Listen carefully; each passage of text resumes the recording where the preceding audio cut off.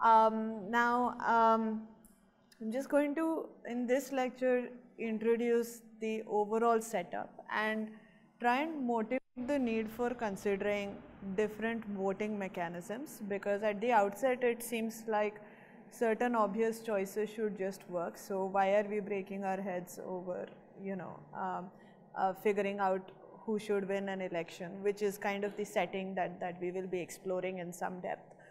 Um, the sessions tomorrow will delve deeper into specific sort of themes and I'll give a high level introduction to all of them now. So this lecture will not be so much proofs as it will be concepts, definitions and just examples, yeah. And um, in the next lecture we will probably take, uh, take a bit of a break just to talk about some generic game theoretic concepts uh, by actually playing uh, a game. So we'll put ourselves in a situation and ask ourselves what would we do. So again, it's more of an intuitive uh, playing field. Uh, so that's kind of the plan for today afternoon.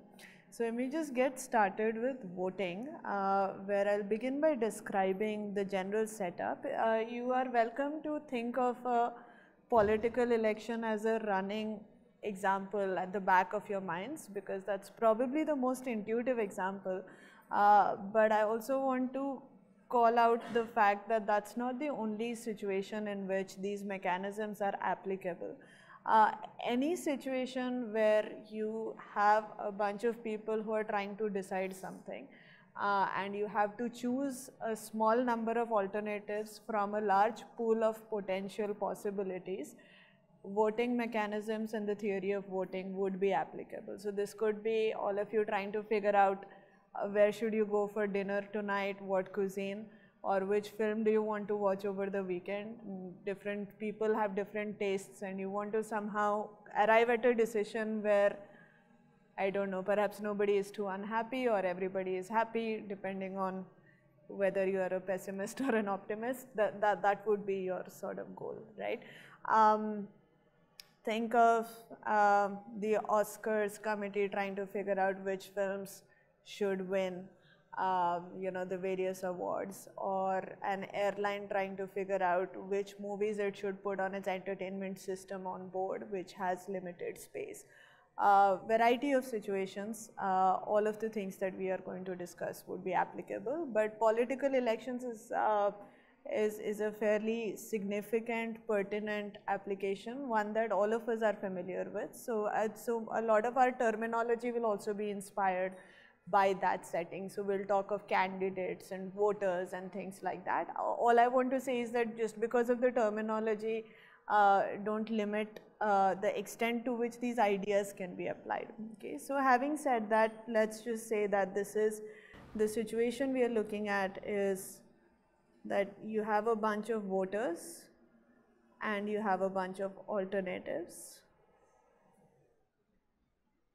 Mathematically, you can think of these as fixed, finite and disjoint sets, although there will be situations where these sets need not even be disjoint. So, it could be that the voters are the alternatives and they are voting amongst each other about each other. You could be in such a situation but that's not one that we will encounter. So to keep things simple, I'm just going to assume that the set of voters is distinct from the set of alternatives. And um, the main component of the input is that voters uh, express preferences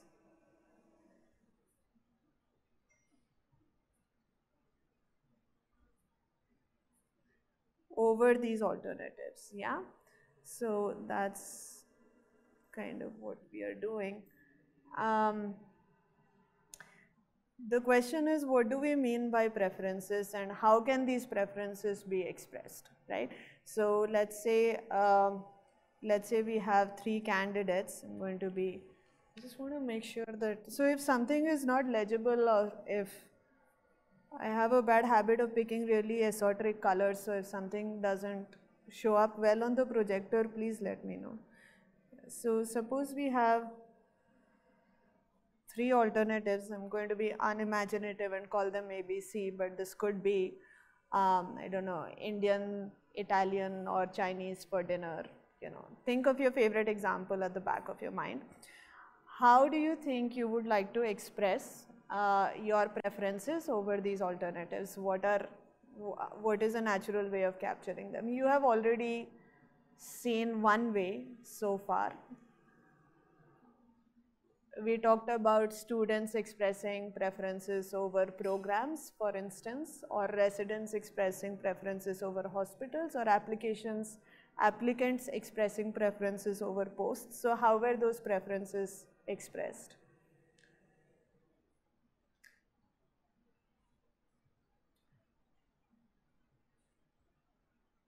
So what was the what what was the input to some of these matching matching problems, for instance? a list okay. So i'm going to call that a ranking. That's so, so one notion of preferences could be rankings which are just ordered lists over the alternatives. And these lists could be complete or incomplete depending on the situation this is also something that you have seen. We have spoken about how when there are a large number of alternatives, as in the situation with college admissions where the number of programs is huge, you cannot reasonably expect students to rank everything. So they will probably indicate their top 10 or top 15 preferences, sometimes more, but essentially not everything is ranked. You give your top uh, K choices. Are there other ways in which you can express preferences? In our Indian elections, how do we express preferences? So if you if you go out to vote, right? What is a what what is what does the ballot look like? What is your vote?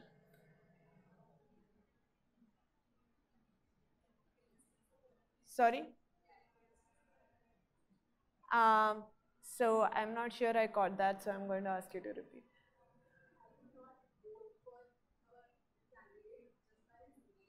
Right.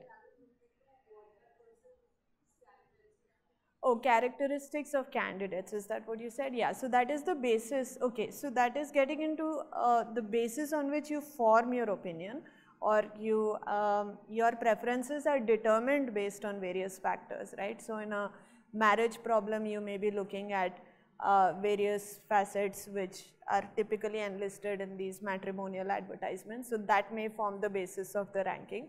Uh, in a political election, it may be, you know, the contributions of the candidates in the past or the reputation of the parties involved or whatever. So those would be, so it won't be just by the names, sure, I agree. But uh, my question is uh, more about what is, what is it that you submit to the central authority, right? So we've been talking about the authority that runs the Gale-Shapley algorithm, for instance. So they run it on a bunch of rankings. Uh, the Indian Election Commission processes a collection of votes, which are essentially what? They are, are they rankings or do you rank all the candidates? You don't get an opportunity to do that. So what do you do instead? Right, so you just select, uh, so you have sometimes all you get to specify is your top candidate, right? So if you are an impatient group of friends trying to quickly figure out where to go for dinner, you're not going to say ki, you know, I prefer pizza over South Indian, over Chinese, over, you just say kahan jana hai, where do you want to go? And you get one option and then you try to decide based on that. So that could be another way of expressing uh, preferences. Can you think of any other ways in which people may express their preferences?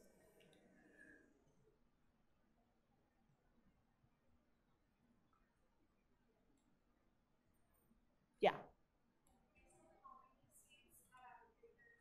Right, right.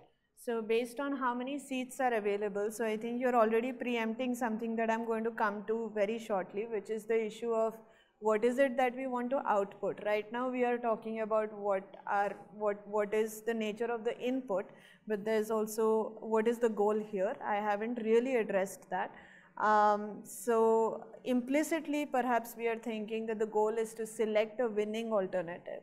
That is the place that you decide to go to for dinner or the, the person that's going to, you know, lead the nation uh, for a five-year term. So, so there is a notion of a winner that's probably already implicit in your minds. But there could be situations where it's not just one winner. Maybe you're, uh, you know, uh, at uh, at an apartment, there, there's housing society elections, so they have to pick a committee of typically 10 people somebody is the chair, somebody is the treasurer, somebody looks after security, somebody looks after something else, maintenance, etc. So you're trying to pick a group of 10 people who can run the show. So you have, in this case, a concept of multiple winners. And even in political elections, you have a concept of people representing you in some sort of a parliament. So you are trying to really elect multiple people. And um, and if you're really picky about your uh, taste in food, then you may decide to split up into two groups and go your separate ways. So maybe there are two restaurants that get picked by the group and you know, you, you just decide to go to two different places. So there could be scenarios where there are multiple alternatives that get chosen, in which case it may be natural to say that people, uh, you know, vote for not one person, but perhaps if, if you want to select 10 people, then maybe you vote for 10 people. That's your in your head that's the ideal committee and that's what you're voting for, right? So I'm just going to generalize that a little bit to say that to just account for a few other possibilities and in general say that you could express your preferences as what is called an approval ballot which is a little more general than just giving your top candidate. Uh, here essentially for every for every option, it's like a yay or nay. So you say, well, is this, is, am I okay with this alternative or am I not okay with this alternative? So these are just binary preferences. For every alternative, you give them a thumbs up or a thumbs down, okay? And you could also, I mean, um, some people generalize this to a three-way ballot where you have the option of saying that you really like somebody or that you really dislike somebody or that you are neutral about somebody. So you could, you could do that as well. So the difference between rankings and approval ballots is that in rankings you're inherently making a lot of pairwise comparisons in your head because it's all about saying that you prefer this person over this person or this alternative over that alternative and so on. Whereas in approval ballots, it's very specific to the uh, individual alternative whom you're just evaluating on their own merit. So it's either that this person is cool and this person is not cool. So that's, um, that's, that's the sort of situation. And there are other ways in which you could do this. So incomplete rankings, we are really thinking about truncated rankings here, but there are other ways in which rankings could be in some sense incomplete. Uh, for instance, a lot of people like to study partial orders or weak orders, which are, um, so weak orders are easier to explain. They're essentially rankings where you allow for ties. So you say that you're allowed to say that you are indifferent between certain candidates. Uh, partial orders are even more general and so on and so forth. So I don't want to get into too many details at this stage. I just wanted to allude to the fact that preferences can be expressed in a number of ways. And for now, we will continue to focus on rankings because that's what we have looked at. But tomorrow, we'll talk a little bit also about approval ballots. And that is uh, because that's also an interesting and slightly different situation. Um, what do we want uh, from the system? This is the input. You have voters and alternatives, and you have every voter expressing preferences over alternatives what do you want as the output? We have already discussed this. So it could be either that you want a single winner or that you want to elect a committee. Is there anything else that you could possibly want?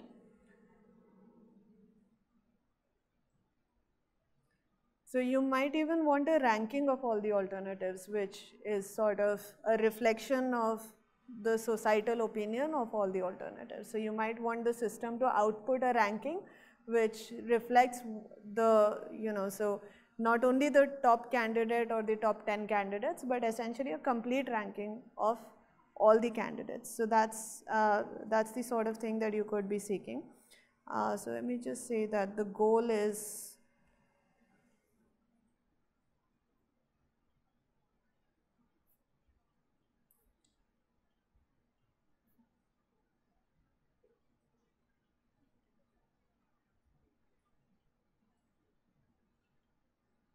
the goal is to find a winning alternative, um, but keep in mind that it could also be a committee or a ranking.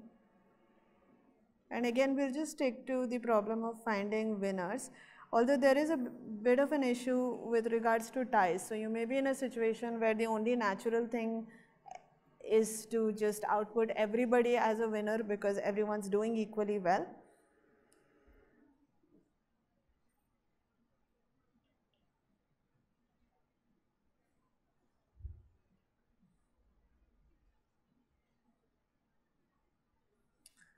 And I think we'll just discuss that in a little more detail now. So as I said, let's just fix our situation uh, as rankings. So the input is a bunch of rankings over alternatives and the goal is to find a winner. Okay. Keeping in mind that there could be various other scenarios, but we'll just focus on this. Okay, so let's say that there are again, as I said, maybe three options that we are considering. Um, now, let's suppose that A is the most popular option in some sense. Let's say that A gets 5 votes and B and C get 3 and 4 votes each. Okay these alternatives could, um, yeah, again, they could reflect a variety of situations. Let's assume that this is something that is serious, maybe, uh, maybe it's some judicial setting. So I'm sort of following here the handbook of computational social choice. So in terms of reference, most of this will be based on the first and second chapters. So most of the examples are also drawn from there. So in the handbook, um, the specific example they're considering is determining the fate of uh, prisoners. I don't know why it's always so morbid. So A is, I think, uh, some sort of a, let's say, death penalty, and then B is letting them go free, and, and C is some maybe interim, um, uh, interim outcome, okay? So, uh, so you are in, I think, uh, some sort of a Roman empire quite some time ago and they're trying to figure out what to do and this is a senate which has voted like this. So so five people are in favor of uh, sort of a violent outcome and then B and C are, you know, there, there are three and four people voting for these alternative outcomes in the Senate. What do you think is a good choice of what the outcome should be? So here there can only be one fate for the prisoner or prisoners in question. So there is no, no possibility of choosing two outcomes or more. So you really have to declare a solution so what would you do in this context? How many of you would say we should go with A? Okay. Considering that's the most popular option, so, okay, all right, so at least somebody rooting for A. So maybe let's even make it a little more tight and say, this is 533. Why would you say that A is a reasonable choice and why would you say that A is not a reasonable choice?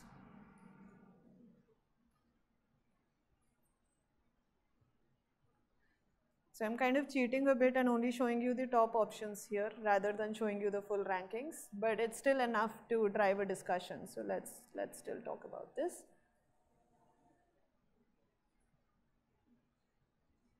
Okay, so Pros of choosing A as the winner.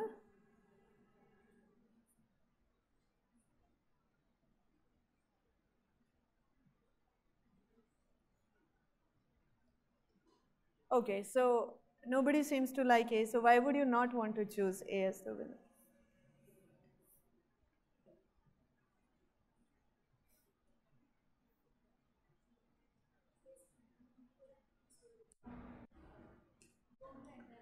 Okay, we don't know the entire ranking, so we don't have enough inputs to make up our minds. That's a fair point. And we will get to examples which do have rankings. But suppose, um, uh, just, just for a moment, suppose that uh, this is one of those situations where everyone is only submitting their top candidate. Although I promised you that we'll be focusing on rankings.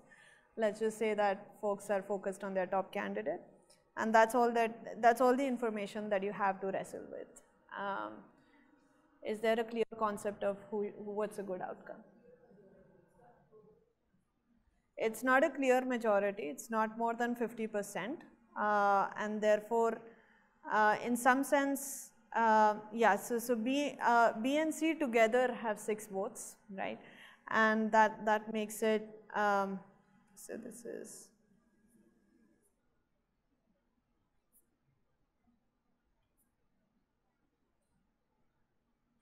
So, uh, so A is what you would call a plurality winner, but not a majority winner. By plurality, we just mean that that's A is the most popular option. It has gotten the maximum number of votes. But the plurality winner could also easily be the least popular person in the sense that, again, it's a small exercise to complete these two rankings in such a way that you could have the six people who have voted for B and C probably have A as their last option, which means that a majority of people actually prefer A the least, right? So even though it is the most popular option in some sense, it's also the least desirable option. So that's why the plurality winner in this case would not be a good idea. And in particular, I mean, if you were using the plurality voting rule, there could also be, so the story goes that somebody decided to knock out option C, probably somebody with some power in the Senate said, let's not consider it. And assuming that the vote, the voters who voted for B and C actually had A as their least favorite option, when you don't have the option of C, then you're, you're going to go to your next favorite option, which is going to be option B. In which case, by simply deleting the option, you have deleting one of the alternatives, you have actually flipped the outcome of the election. Okay.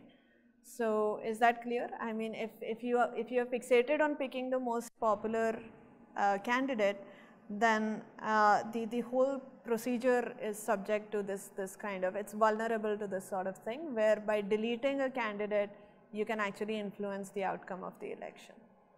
Yeah. Okay, so this is one of the things that we will look at more closely tomorrow. This is called control by deleting candidates.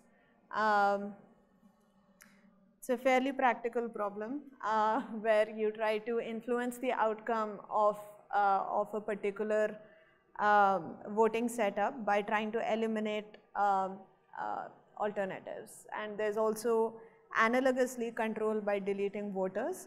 So all of this sounds very morbid, but I think uh, it, it leads to some really interesting scenarios and some interesting maths. So we'll be looking at this a little bit more.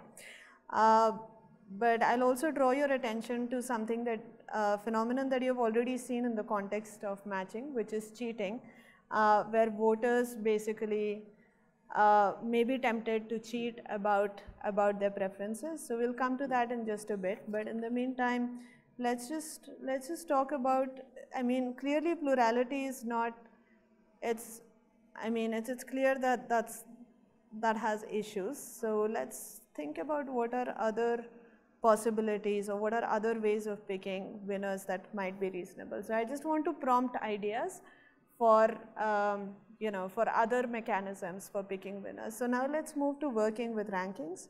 So again this is one of the examples from the book. So I'll just explain the notation in a second. This means that the ranking A over B over C is submitted by 102 voters. Okay. 101 voters submit B over C over A.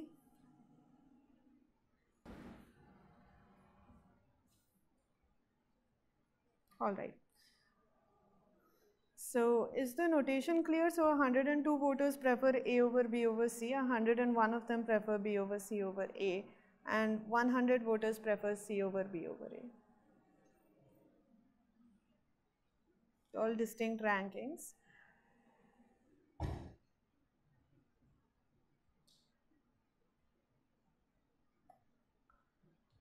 And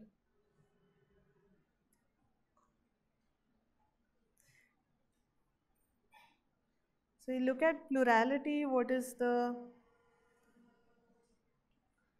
who is the winner?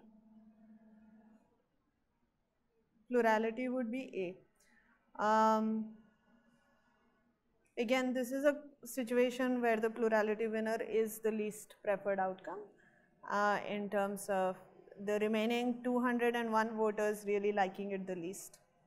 So we don't like plurality. So we are going to do, uh, we're going to try and imagine more sophisticated ways of choosing winners. Uh, are there any, are there any suggestions? So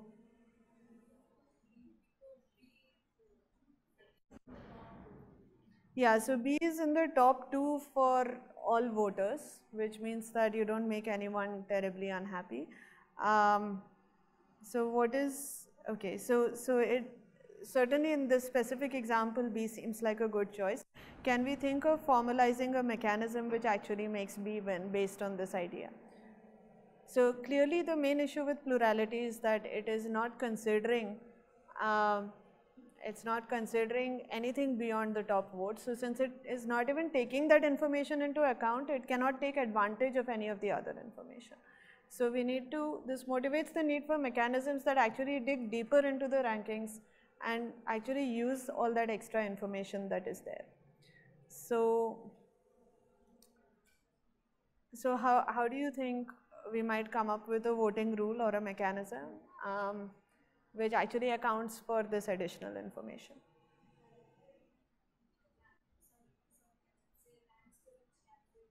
Right. Right. So one natural thing to do is to maybe give points to the candidates based on where they are ranked by the voters, right?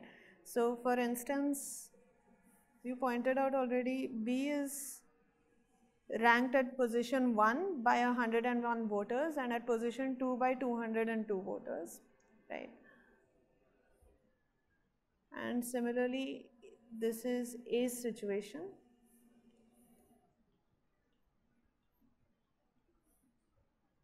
And this is C's situation, which I mean, yeah, so something like 1, 2 and 3 may not have been bad if uh, for example, if the last bundle had a higher weight, then C may have even um, come out on top. But in this case, intuitively, we do see that B is doing well. How do we, how do we formalize this? So let's say that um,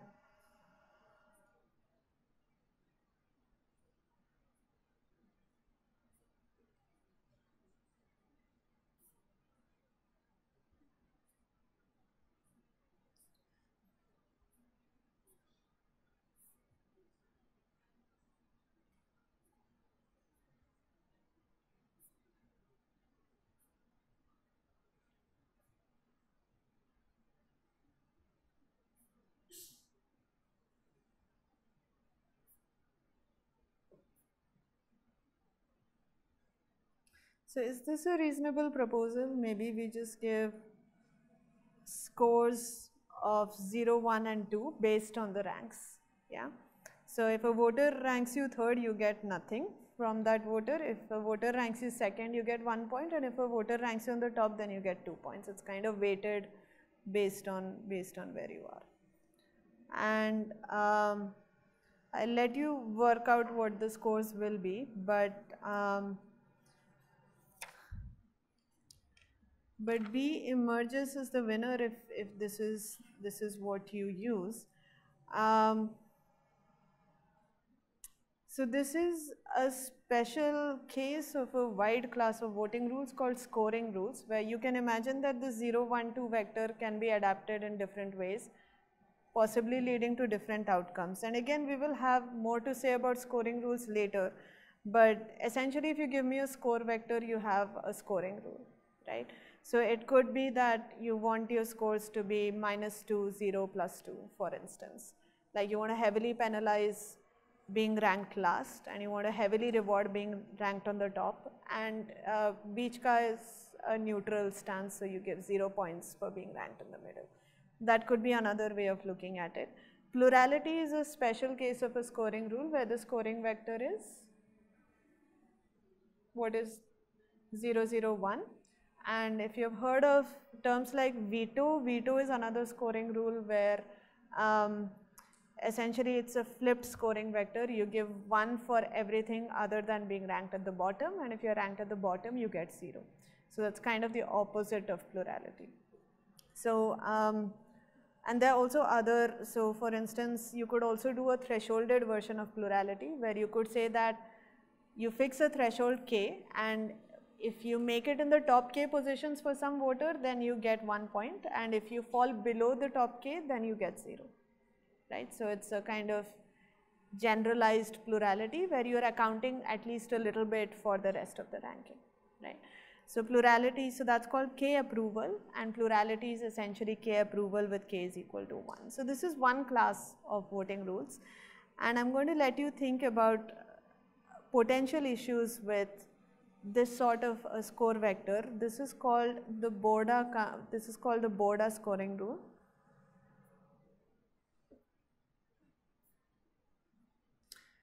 And as I said, going the score vector route gives you a whole class of voting rules called scoring rules, but let's also think about um,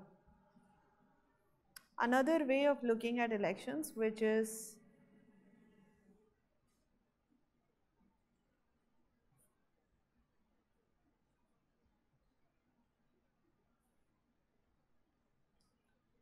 pairwise majority rules. And here what we want to do is essentially have the candidates face off against each other. Yeah?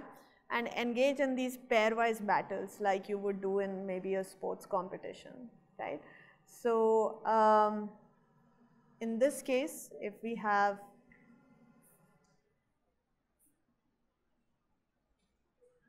a pairwise election between these candidates who would win or lose. So notice that we have an odd number of voters. So um, there would be, this is very similar to uh, the sort of situation we had with popular matchings where you basically ask the voters which candidate do you prefer. So the number of voters who prefer A over B versus the number of voters who prefer B over A, that's what you want to analyze when you're doing the pairwise contest between A and B, right.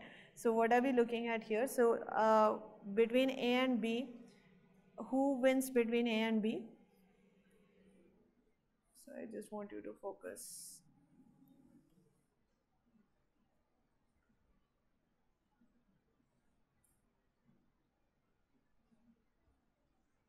So how many voters prefer A over B?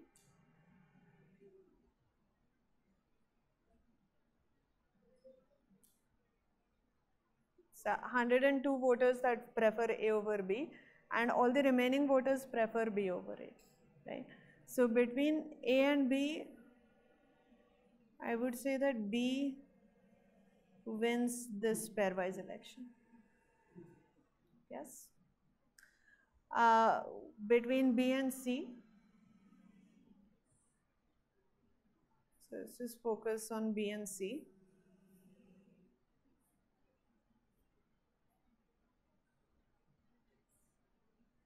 Who is winning?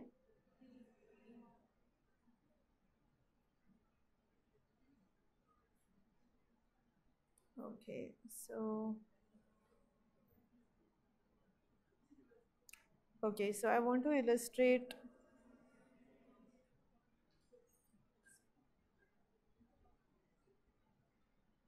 Okay, so between B and C, also B is winning.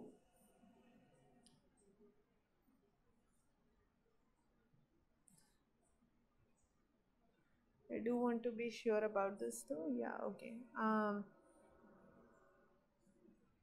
what about between A and C? C is winning. Fine. So, um, so in this setting, uh, we see that B again seems like a natural choice given the fact that it's winning two of the uh, it's winning the two pairwise elections that it participates in, right? Okay, so one sort of, okay, concept could be that you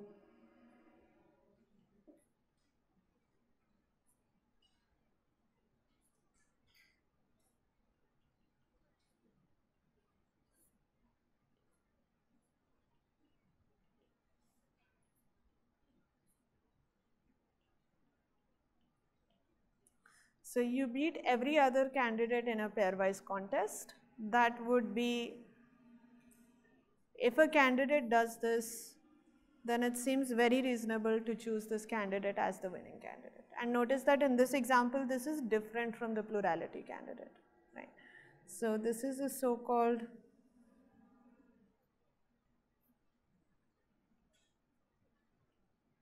Condorcet winner. Um, is there a problem with this definition or do you perceive any issues with the concept of a Condorcet winner? So is the, is, the, is the definition clear? You run pairwise contests between all pairs of candidates, right? And somebody who beats everyone else in their pairwise contests. So for a pairwise contest, you essentially project the election on those two candidates and basically look at their performance, right? And essentially, if somebody wins all of these pairwise contests, then that seems like a pretty strong contender for winning the election. Yes. So, is there a problem with this?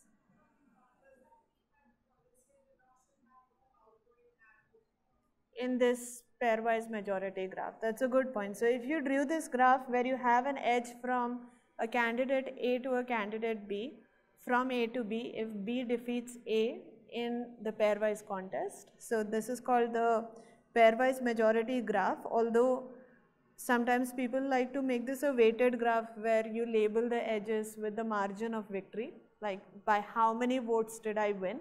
So you may want to keep track of those numbers as well, but for now I'm just keeping it simple. And this is also going to be a complete graph because you can, you will have the pairwise contests between every pair of candidates. So it's going to be a complete directed graph, which is also called a tournament. And again, this is something that we will come back to later. Uh, but in this graph, if a candidate has no outgoing edges, that would mean that they were not defeated at all. And that's what we are going to call, that's the candidate that, that we will call a Condorcet winner. And is there any reason that this notion is problematic? I asked you the same thing about Borda, but I skipped ahead. Uh, because the issue here is a little more transparent than the issue with Borda. Uh, I mean, every every voting rule that you come up with is going to have pros and cons, and that's that's the sort of thing that we want to think about. Uh, so that I mean, the overall agenda is that in a particular situation, you want to be able to figure out what is a good mechanism to apply, right? And for that, it's good to have an understanding of what are the pros and cons of the various mechanisms that you can come up with so that you can figure out what is what is the best um, what's the best deal for a given situation yeah so that's kind of the overall agenda um, can you think of an example can you come up with an election where there are no Condorcet winners can that happen yes Okay, can somebody quickly give me an example? Maybe even by modifying this one, but yeah, so yeah, the graph will look like a cycle, but what I want is the numbers that make that graph feasible. So what, what do I want? So if you have a cycle, you don't have Condorcet winners.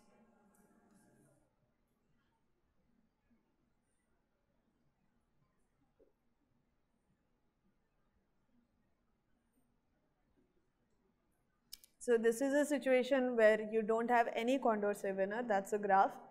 What would be, what would be an election that produces this graph?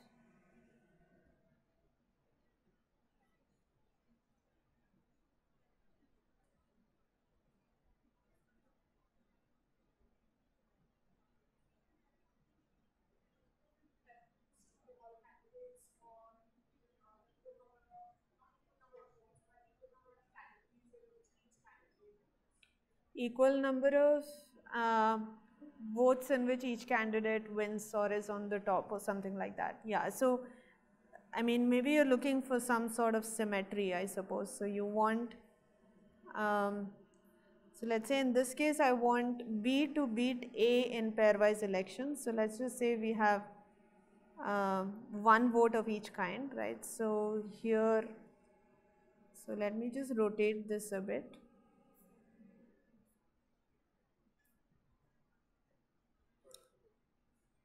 Sorry?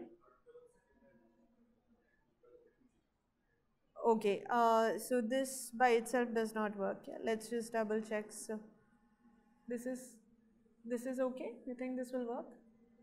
I yeah. So let's just check. So B beats A in the first two columns, right? And so that's so B defeats A. I want A to defeat C. Um, I see. So here C is defeating A, so that's why you wanted you wanted me to switch this out. Is that what you were saying? A defeats C. So I want A to defeat C. So um, so A defeats C in the first and the last column, uh, and I also want B to defeat. I want B to defeat C, and that is happening in the first two columns. Yeah. So that is a situation where a Condorcet winner does not even exist, and this is called a majority cycle.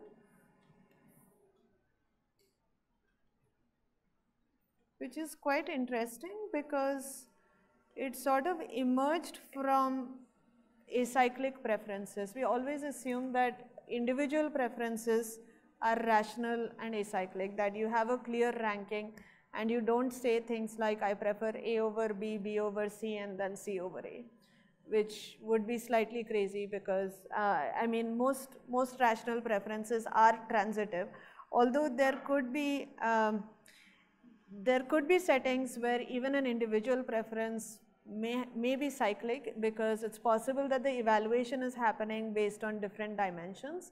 So maybe there's a context in which you prefer A over B and B over C and maybe when you are being asked about C over A, if the context has changed then maybe you could still go the other way. So there are people who do study uh, you know cyclic preferences but again that is something we won't really go into. So for us preferences are always rational which is to say that they, they are acyclic.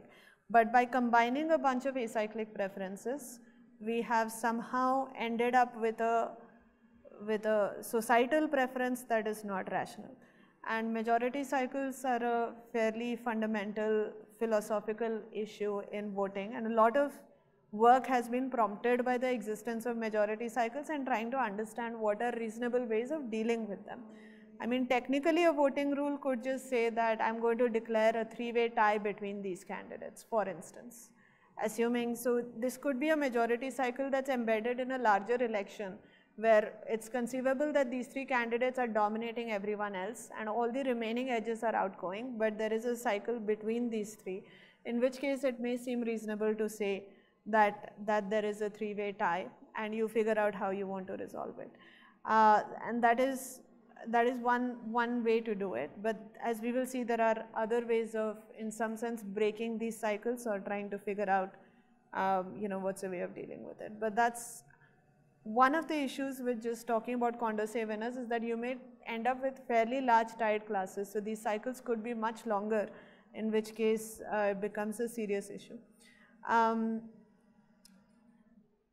you could, however, ask for any voting mechanism that you come up with to be Condorcet consistent, which means that in the presence of majority cycles, the voting rule is allowed to do whatever.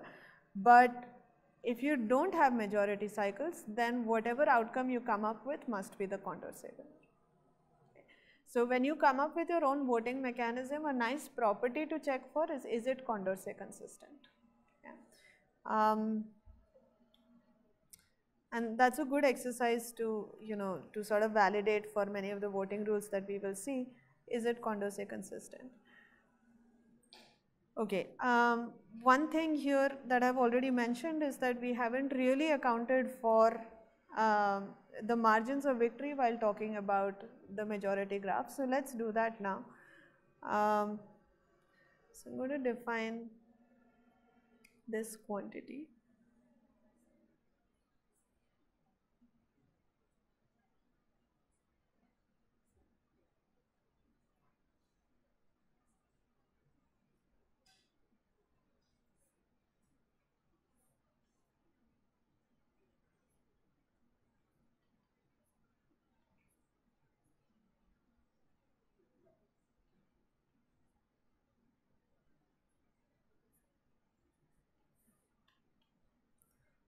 So, so what is this expression here? So the this notation here is basically uh, the it's the notation for the preference of the jth voter and it's saying that the jth voter prefers A over B. Okay.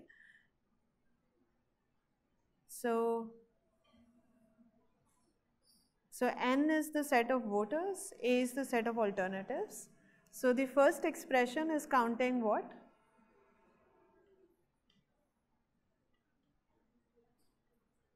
So right, that's the number of voters who prefer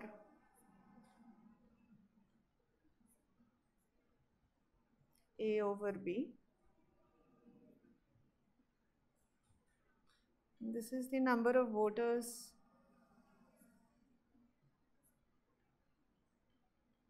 who prefer B over A.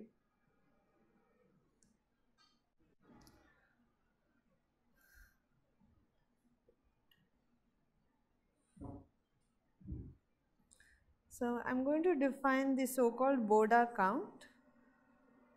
So the net of A over B is just the, if, if A is defeating B in the pairwise election between A and B, then you can think of net of A over B as essentially the margin of victory, right?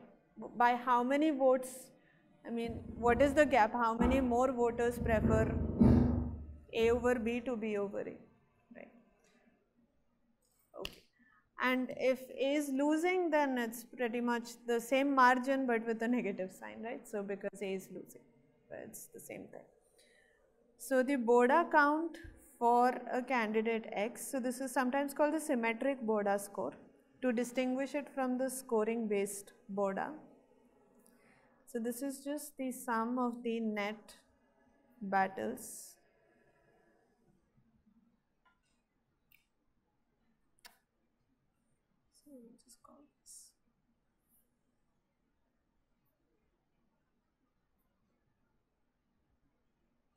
So essentially I'm running A, I mean I'm pitting A against all the remaining alternatives and I'm picking up its margins of victory, I mean margins of victory or defeat depending on the situation and I'm adding it all up. So this is the Borda count for the candidate A and the again this is essentially assigning a number to every candidate and the, the person who comes out on top is the person with the highest score. Um, is there a connection between the Borda count and the Borda score, the Borda, the score based Borda voting rule that we saw before, which is here.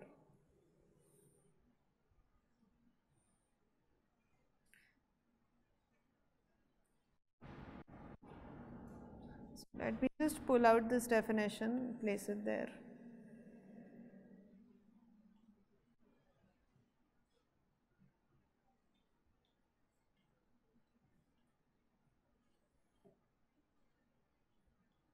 So remember that the net is just the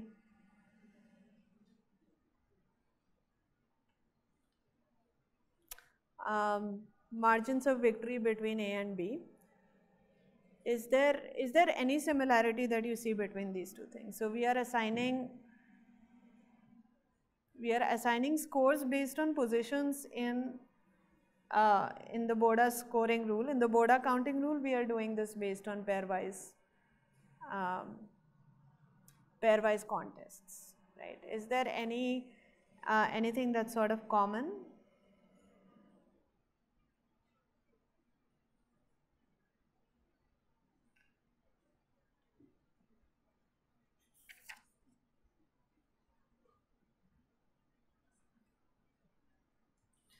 Okay, so there is a relationship between these two quantities and uh, let me just at least try and convey some intuition.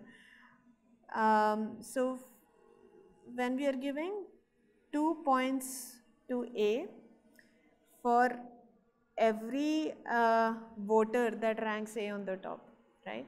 So these are, if you think of the pairwise majority graph, so if you look at if you look at A in the pairwise majority graph, it has these edges to B and C right? And we are thinking of the net of A over B is the number of voters who prefer A over B minus the number of voters who prefer B over A.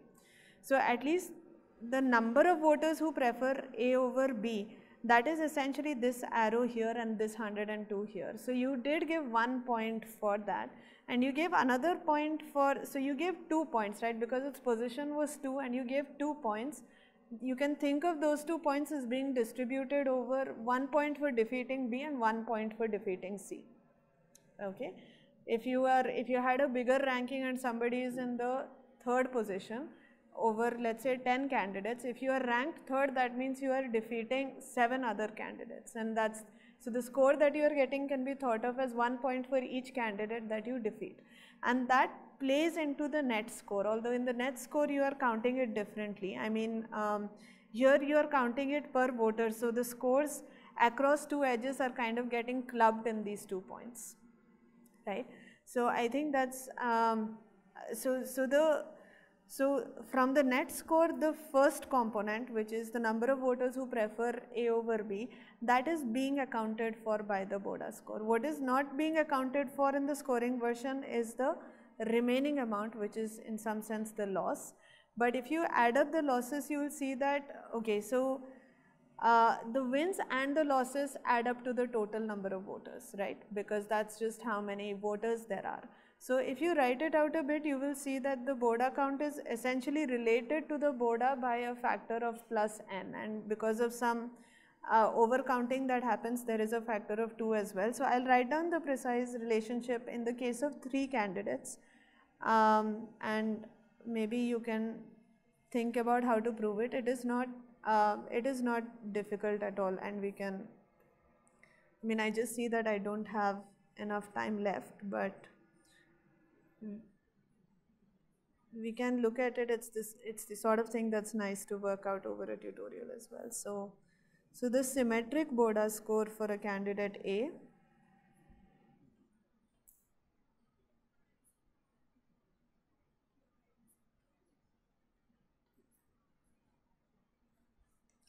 So this is how I'm going to put it and I'm going to leave this as an exercise for now.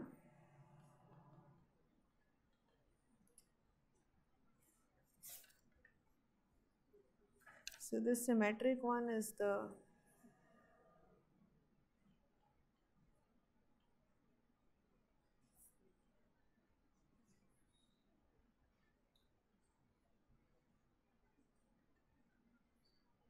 So I always get confused. So the asymmetric one is the one based on the scoring vector and the symmetric one is based on the pairwise majority elections and the margins of victory and defeat.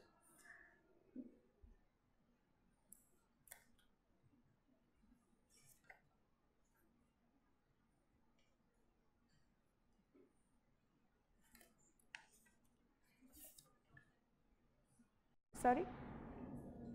N is the total number of voters. Thanks.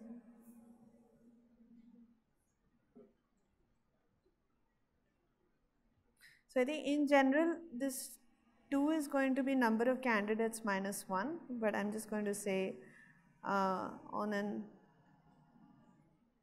election with 3 candidates because it's just a little less messy to see.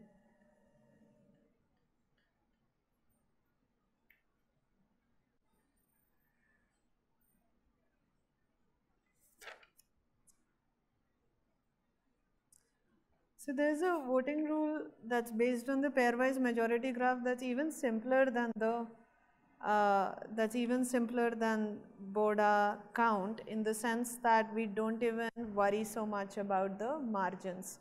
So I'm going to define for you the Copeland score of a candidate but before I do that I don't know maybe I want to ask you if there is so if I just give you the pairwise majority graph okay which is this object that we saw here without the margins. So, I mean I can build this graph based on the election and let's say we lost the election to some computer crash, the election data is gone but you somehow have the graph. So, you do not have the data on the margins but you just have the graph. So, apart from talking about the Condorcet winner which has the problem that it may not exist, uh, what is what is another natural way of defining a winner based on based on this pairwise majority graph. So you have information about who won the pairwise contests, right? What would you uh, what would you try and parse out of this?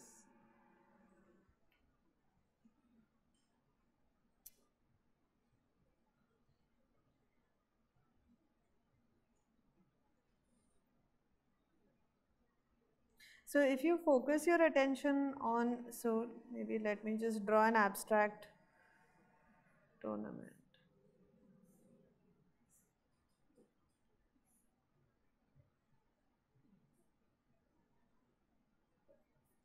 I'm just making this up on the fly, sorry. So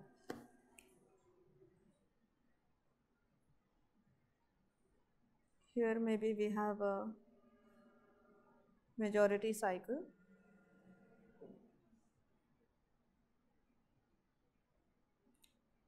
So there is no Condorcet winner because here you have a majority cycle and the other candidate is getting defeated at least once. So,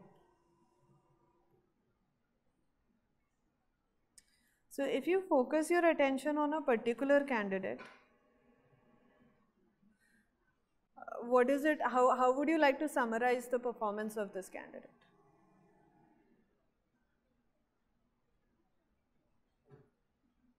In this election. So this candidate here right on top.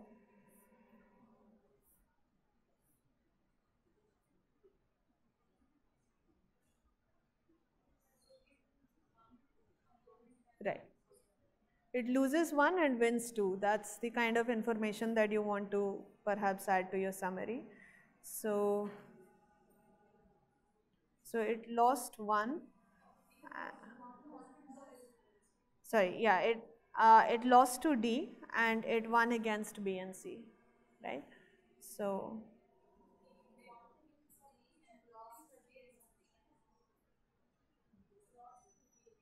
Oh, sorry. Okay. So, uh, so the convention is that the arrow is from A to B if A is winning. So, sorry. So, uh, so A wins against B, wins against C, and loses to D. Is that a fair summary?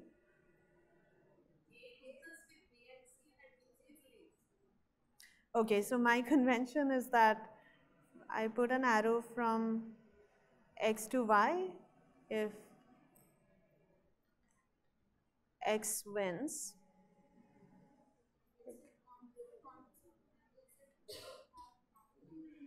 So have I flipped the convention? Sorry. So here for instance, Okay, but let me just make sure that here at least it's consistent. So here we have said that this is an arrow going from B to A and indeed, um, okay, so I think I have flipped my convention, sorry, in both cases. So at least it was consistent so far. Um, all right, so maybe let me try to keep it consistent at least within this discussion, but I'm afraid I may have spoiled your habit because it's, I think, at least in the book, I believe it's the other way. So in any case, let's do this. Uh, what's important is that I want to get the counts in. So here A is losing 2 and winning 1. Yeah? Okay, so the incoming arrow indicates a win. So B is winning 2. D is winning 1. C is winning 2 and this is the remaining. Okay. So this is sort of the situation. Um,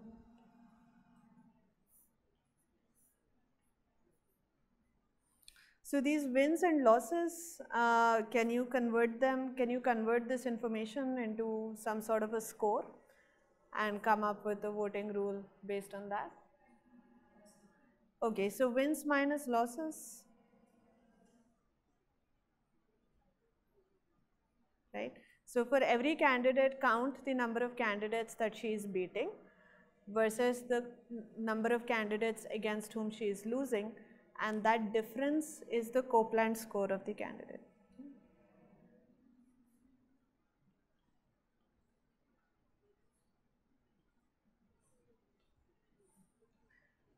So is Copeland a Condorcet consistent rule? I mean, the rule is just this. You look at the majority graph and you do this wins minus losses information and then you choose the candidate that has the highest Copeland score.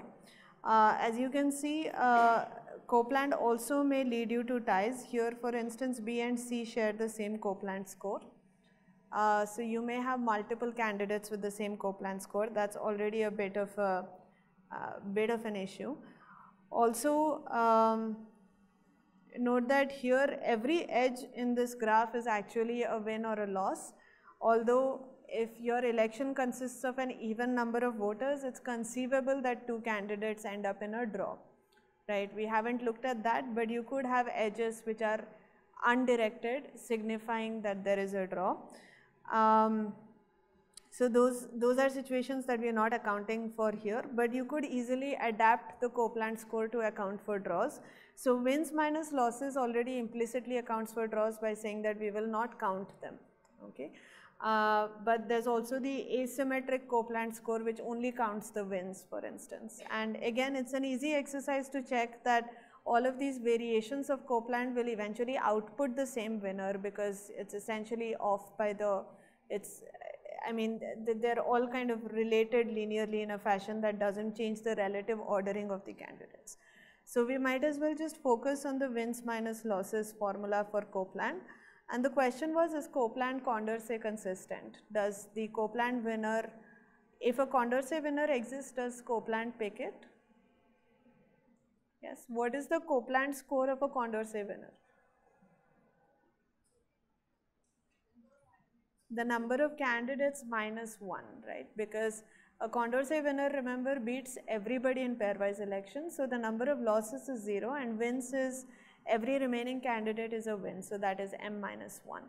And that is the maximum possible Copeland score that anyone can have. If somebody has a Copeland score of m minus 1, then every other candidate has a Copeland score of less than m minus 1. Is that clear?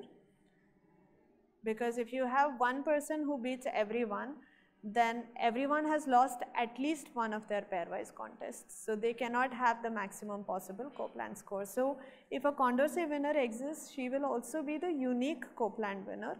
But in the event that a Condorcet winner does not exist, so for instance here, I mean we do have a majority cycle and it is rated differently by Copeland and so on. So there is uh, so Co Copeland can do interesting things when Condorcet winners don't exist.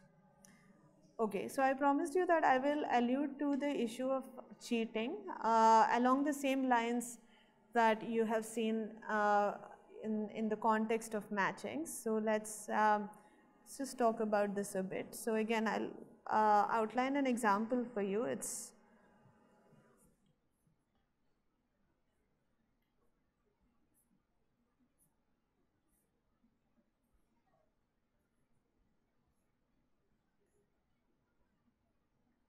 Okay, so while I'm writing this down, one quick question. So in plurality, so by manipulation, let's just, so again, there are probably multiple ways of cheating in, in an election.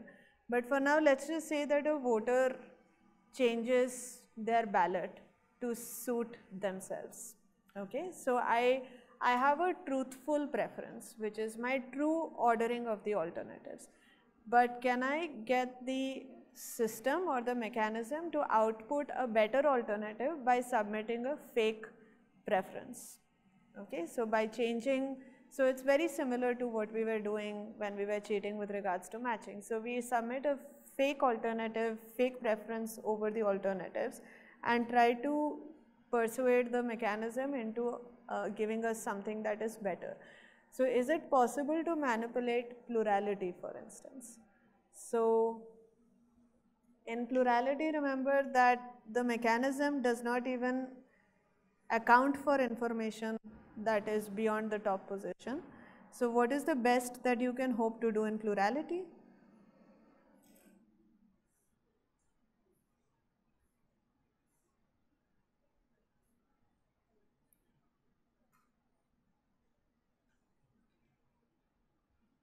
So just intuitively, does it make sense to so, so let's say that the plurality winner, so in some abstract election, the plurality winner is A. and A is not, sorry, so A is not your favorite candidate. That's why you're even thinking of manipulating. If A was your top option, you wouldn't even bother, right?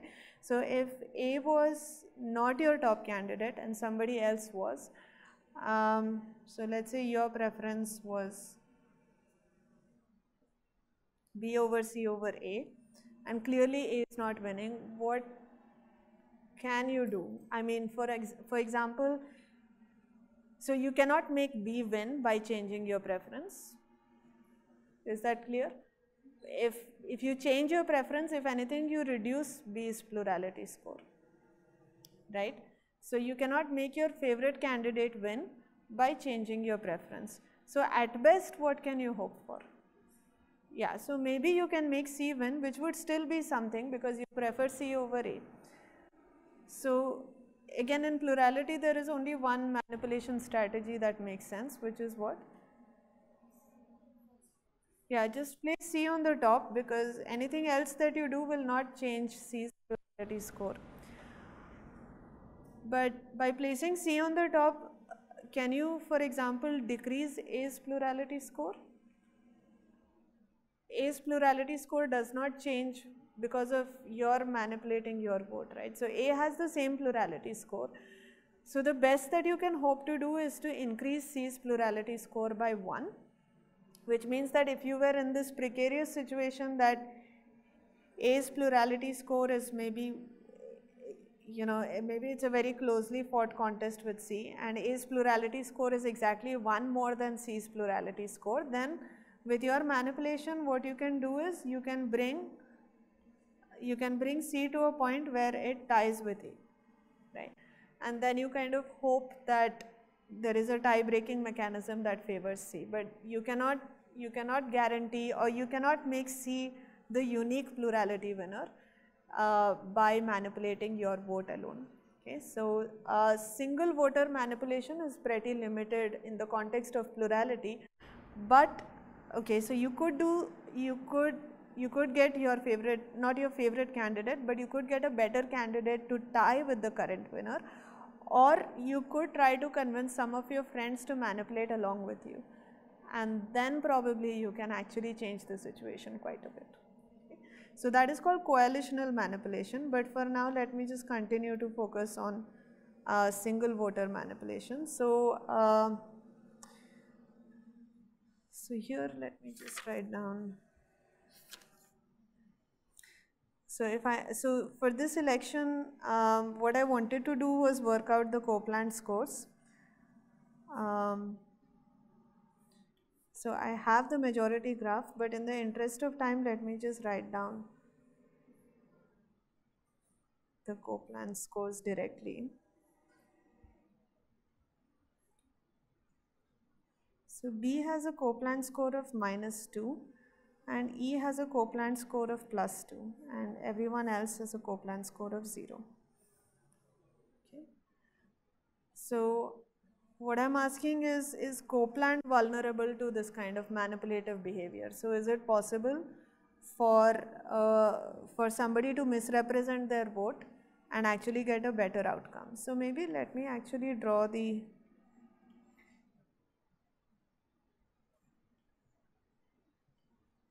majority graph here.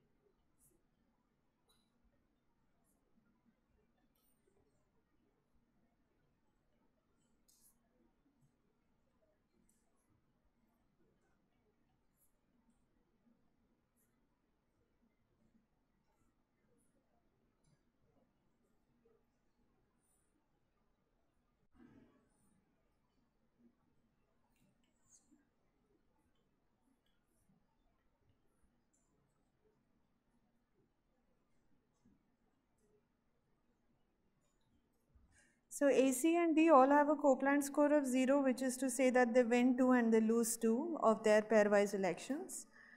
Uh, B has a Copeland score of minus 2 and E has a Copeland score of plus 2.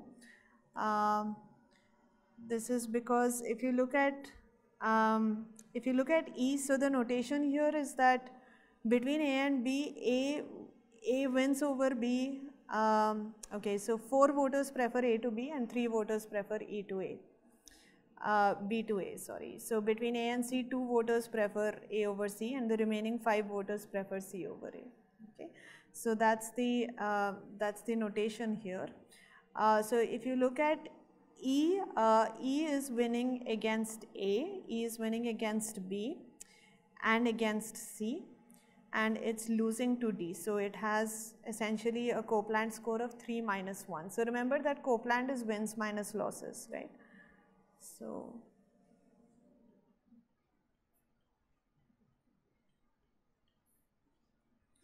So E wins three of its pairwise elections and loses one. And if you look at the last two voters whose vote is A, B, C, D, E, for them this is a bad situation. Why? Yeah, E is their least preferred candidate and E is winning the election. Right? So, is it possible for one of these voters to change their vote and affect the outcome of the election for the better? any different outcome will be good for them because he is their least preferred candidate. So even if you can get D to win, that will be better than the current situation.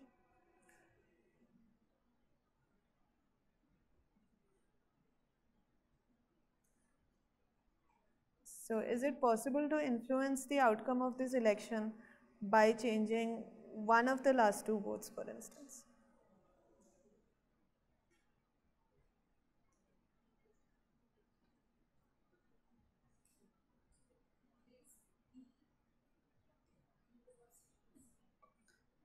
Okay, so so I'm going to request that we focus on single voter manipulation, um, meaning that maybe one of these voters comes away to change their vote. Um, okay, so uh, we'll come back to you know both of them colluding to manipulate. Uh, that that will uh, clearly that will have a greater impact because you can do you have more leeway to do things. But what if one of them changed, decided to submit a false preference? How much damage can they do in terms of changing the outcome of the election?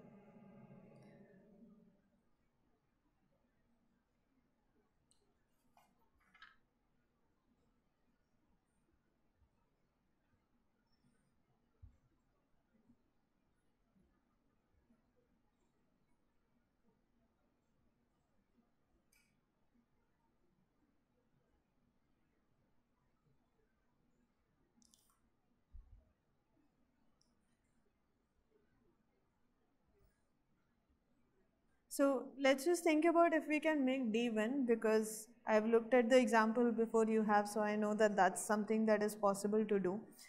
Uh, so let's look at the scores for D. So D is losing to A and D is losing um, is losing to C but is winning against B and winning against um, is winning against D. And notice that the wins against B and E are with a decent margin meaning uh, it is 5 to 2 right. So D has 5 voters preferring it over meaning that there is some leeway even if even if D loses one of its votes the other way even then D will continue to dominate these two pairwise contests because there is some margin. On the other hand where D is losing to A and C these are closely fought elections. This is 4 comma 3 which means A has 4 voters preferring it over D and there are 3 voters who prefer D over A. So a switch here would actually make uh, D uh, fare much better. So and notice that if only one voter is manipulating, what is their extent of influence on these pairwise elections? Can they make it, like can they make a, I don't know, yeah, so you cannot make a 2020 go to you know 15, 25 by just changing your vote. Your vote is just going to have the influence of at most one flip. Either your pairwise preference stays the same in which case that contest is not affected at all or it goes from being like this to you know you shave off one from here and you increase this by one. That's, that's the extent of influence that you can have by changing one vote. So if an election is not closely contested, you are not going to actually change the outcome. So in fact, the good outcomes for B and D, you are not going to run the risk of destroying them because the margin there is, there is a lot of cushioning. So, so you, you don't run the risk of making it worse for D. But on the other hand, you have the scope for improving the closely contested elections with A and C. So how do you think you can change this vote to actually execute this plan? Right, let's just keep D in the first place. And I guess it doesn't even matter what you do to the rest. So um, if you keep D in the first place, the, the fate here is going to flip. So previously what was happening was that D was losing to E, uh, sorry, D was losing to A, B and C in the original vote, right? Because you placed D fourth. So D was losing to A, B and C. So as far as A and C in particular are concerned, because of this flip, uh, these fates are going to change. So this 4 comma 3 will become now 3 comma 4, right? So because A has lost one of its supporters relative to D and similarly C has also lost one of its supporters relative to D. So the 4 comma 3 again for CD also becomes 3 comma 4. The other two elections only improve or stay the same by putting D on top. Okay. So this is one way in which you can in fact improve the uh, you can in fact improve the score of D, uh, the Copeland score of D from 0 to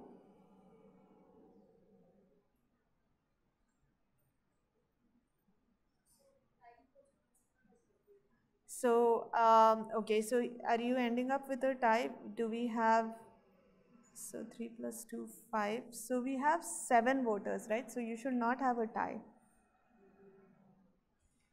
So will you end up with a tie anywhere? So with B and D, um, between B and D it will become 3 comma 4, right? And D is still winning and between D and E again it will be um, it will be the same 5 comma 2 because D was anyway doing better right. So the Copeland score is in fact 4 because now D is winning all the pairwise contests right? Which in fact upgrades D to the level of not only a Copeland winner but even a Condorcet winner because there are now uh, 4 alternatives and D is beating all of them. And um, you can check that this is one way of manipulating. Even if you flip the order you will achieve the same effect so if instead of A B C D E you submit E D C B A that will work as well because as I said there E is doing better than D but this election has enough cushioning so it will not affect that election um, and there are probably other ways that you can manipulate as well. So there are in fact multiple ways that this voter can change her preference to improve the outcome of the election with respect to their true preferences, right. So D was preferred over E in the true preference and so you could subject Copeland to this kind of, uh, you know, uh, to this, this kind of manipulative attack. Uh, so this is just to say that voting mechanisms can be vulnerable to cheating uh, it is possible which leads to two natural questions and one is can you design a voting mechanism which is robust to this kind of cheating? Can it be built into the mechanism itself? Can the mechanism be cognizant that voters may be unscrupulous and therefore we should design the rule to kind of circumvent it? And to some extent plurality is like that but it does that at a very large cost and it also does not necessarily protect you from coalitional manipulation where multiple voters may collude. And the other issue is from the point of view of the manipulator, we had an ad hoc procedure to discover that you can manipulate.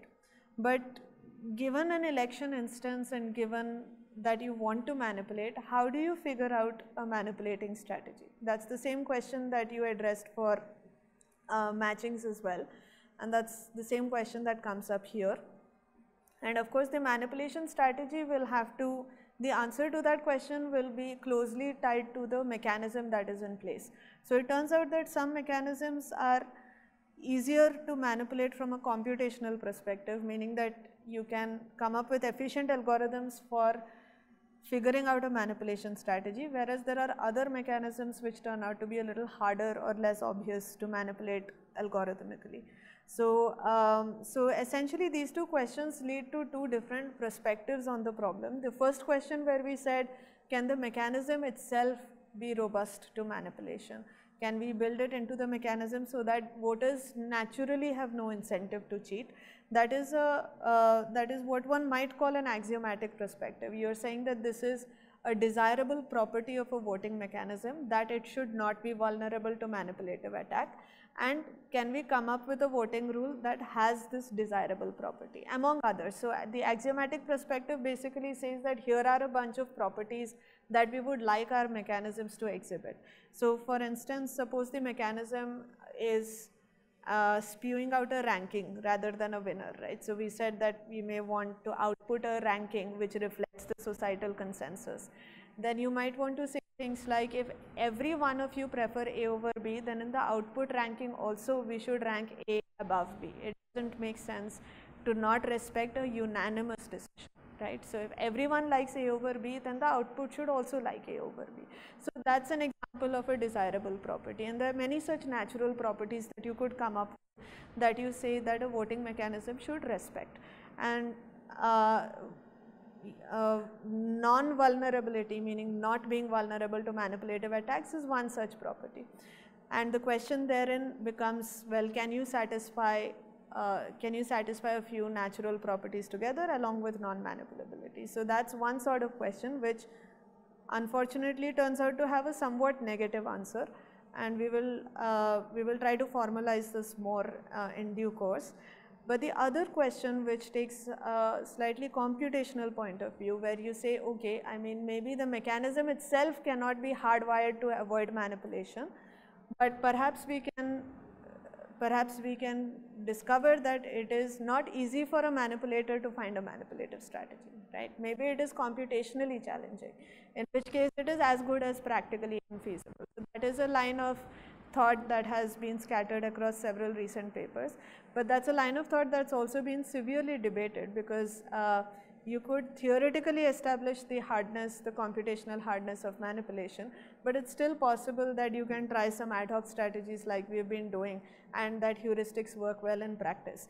So, uh, so it's a very interesting debate and it applies not only to the manipulation problem the way that I've stated it, but it also applies to other forms of doing uh, undesirable things like control which we alluded to in the beginning, control by deleting voters, deleting candidates and other forms of control. So, these are all interesting strategic issues that come up and we will be focusing a little more on the computational view as opposed to the axiomatic view, but we will at least state the theorems that are known in the axiomatic world which motivate the computational investigation. So, that is sort of the plan for much of what we will do tomorrow.